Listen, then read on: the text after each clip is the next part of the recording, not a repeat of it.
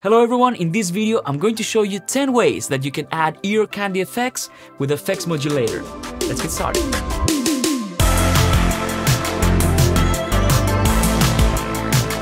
FX Modulator is a really creative plugin. You can create so many interesting sounds with it, and even the most boring sound can become really interesting if you run it through FX Modulator. So the first way that you can use FX Modulator to add ear candy to your tracks is by using it to create pitch shift effects for vocals. Let me play this vocal without the FX Modulator. As you can see, I've loaded quite a few things and let's listen. Now you know why I had to go, I had to go. Okay, now what I have here is I have a pitch shifter effect and you will see that I've created this curve here and this changes the pitch. So you can create those really interesting effects. As you can see, I have detune and I also have formant. This means that these will react independent of each other and we can create those really cool, very contemporary vocal effects. Let's have a listen. Now you know why I had to go, I had to go. I still love you. I hope you know, I hope you know. So as you can see, I'm modulating the formant here with this curve and I'm also detuning with that curve. So it goes one octave down. Very, very powerful. And if you wanted to create this effect using audio editing, it would take quite a bit of time. The next way to add ear candy to your vocals is by using the filter module in the effects modulator. So let me activate this and let me show you what I've done. I'm basically modulating the frequency of the filter. And I have a little bit of EQ, you know, at 50%, but check how interesting this vocal becomes right now. Now you know why I had to go, I had to go. I still love you. I hope you know, I hope you know. Can deny the truth. We were never meant to be. Sorry I had to leave. And of course, you can do some crazy things with this. If I go and add a crazy LFO here, Now you know I had to go, I had to go. I still you can add a little snippet of this in a breakdown or after a chorus. All these elements add interest to your productions. Which brings me to my third tip, and this is rhythmic distortion effect for vocals. Of course, these you can use for other instruments, they're not just for vocals, but let's try the next effect in line, which is the overdrive here. And as you can see, I'm modulating the drive and it goes really fast, but this will give us a very interesting rhythmic effect. Let's try it. You know why I had to go, I had to go. I still love you. I hope you know, I hope you know. And what I'm doing here is I have activated the filter bank for this module, which means that I'm distorting only the mid-range. Maybe you want to leave the low end untouched, so in this case I'm modulating the mid-range because I felt this had the best effect. Let me just move this around so that you can hear the difference. Why I to go, I to go. I still love you. I hope you know, I hope you know. So I didn't want to have this low end because it kind of made the sound a little bit more loose, where when I focus on the mid-range, I get this nice punch. The next tip is adding reverb highlights for your vocals. And for this, I have another module here, reverb. And as you can see, I have this curve going on. So what's gonna happen is when we have this peak, we're going to have the reverb and then immediately it's going to fade out. This is very effective, especially if you have a long reverb with a long time and a relatively large size, like I have here, because then we will have this really big tail that gets cut abruptly. So let's have a listen.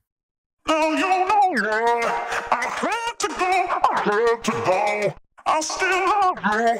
I hope you know, I hope you know. So parts of the phrase have these reverb highlights and some of them are completely dry. I'm going to turn off everything else before the reverb so that we can hear this. Can't deny the truth. We were never meant to be. Sorry I had to leave. And of course, if you want to smoothen out the curve, if you don't want this reverb to be very abrupt, you can actually do this. You can actually turn up the smoothing and you will get a more kind of smooth curve. Can't deny the truth.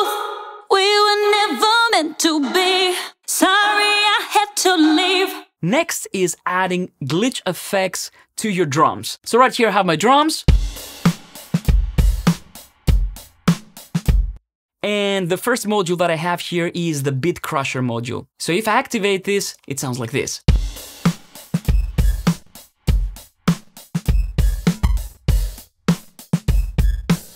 And what I'm doing here is I'm modulating the sample division. And this gives us this really interesting glitch effects.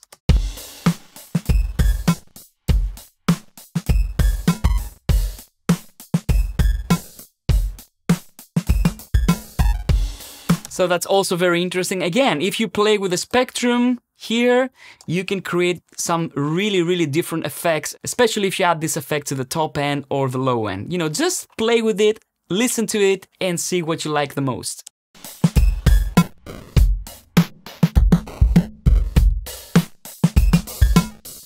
In my case, I prefer to leave the top end alone, but I'm adding the bit crusher to the low end and the mids.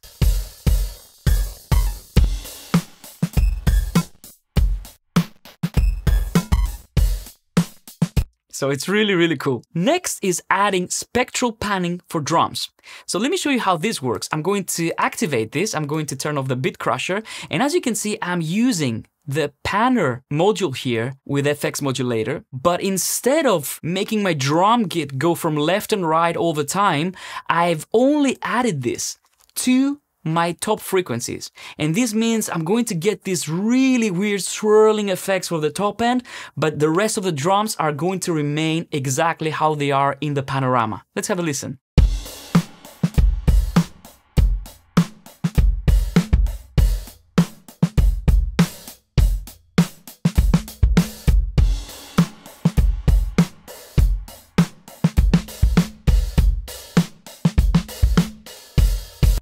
So as you can hear, it sounds like the top end is moving. It has a nice animation to it, but we haven't compromised on the sound of our drums. So this can give you a nice ear candy effect.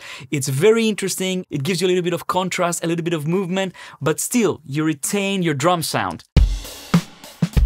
Instead of going like just the top end.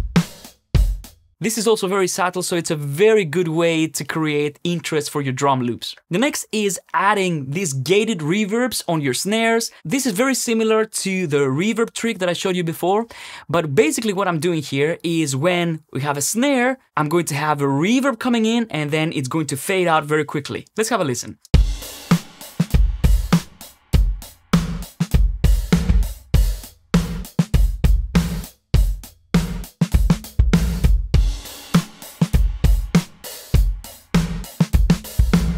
As you can see, I'm not affecting the kick drum, everything else is in its place, but I'm introducing this almost gated snare reverb. Even though I'm not doing this just on the snare, I'm adding into the whole drum kit. So if you have loops where you want to add a little bit of a reverb highlight for a specific element, this trick is really useful. As you can see, what I'm doing here is I have my reverb, exactly like before, long, reverb time, and large size reverb. And I always choose to keep pre-delay at zero for this one because I want the reverb to hit straight away. Next, I want to show you something that might be really useful for electric pianos, for electric guitars, and this is adding wah-wah effects to the sound. So let's listen to this Rhodes part without the effects.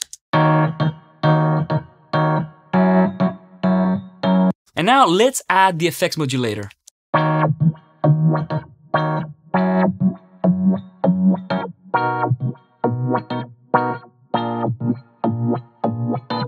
And this is so much fun. You can really take a very simple sound and create something really funky with it. So what I'm doing here is actually very simple. I have my filter module here. As you can see, I have created this curve.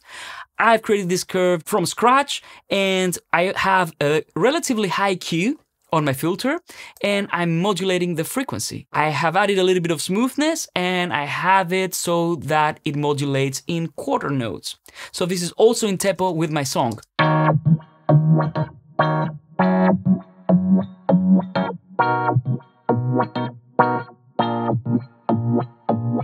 Next, I'm going to show you how to create some tape stop effects. And I'm going to keep this Rhodes part because I think it works great with Rhodes, especially if you're doing lo-fi bits and all these things. And for this one, I'm going to use the time shifter.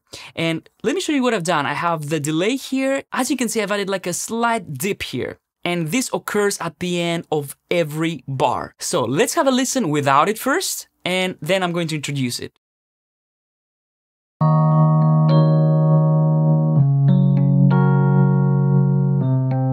Kind of conventional. Now let's listen to it with the time shifter.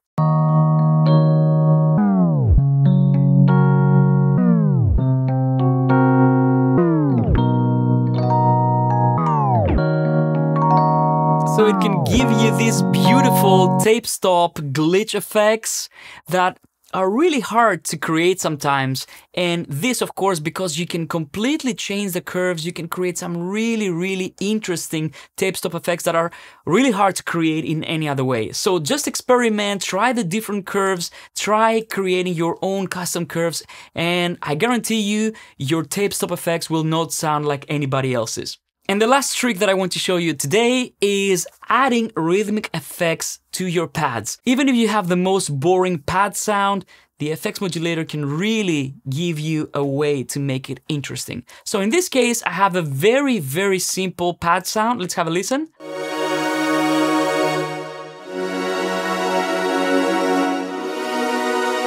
You know, it's very conventional. So what I'm going to do is I'm going to take my flanger here and I'm going to introduce some flanging at the end of every bar.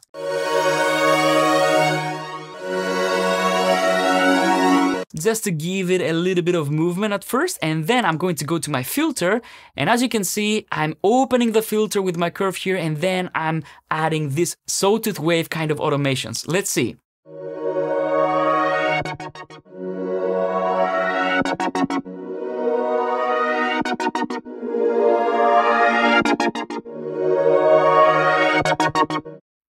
Compared to this,